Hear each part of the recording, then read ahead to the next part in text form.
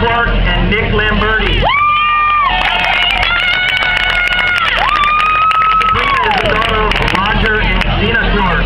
This is her second year at CSCA, and her favorite Bible verse is Philippians 4:6.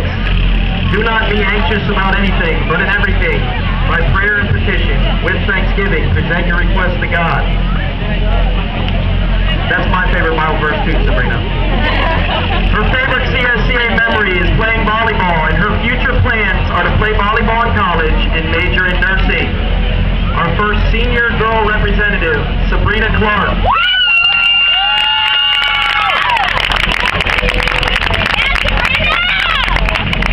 Our male representative is Nick Lamberti. Nick is the son of Al and Holly Lamberti. This is his 14th year at CSCA. His favorite Bible verse is James 1, 2 to 4.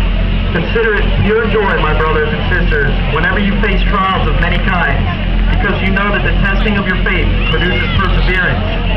Let perseverance finish its work, so that you may be mature and complete, complete and not lacking anything. His favorite CSCA memory is winning the last two back-to-back baseball district championships.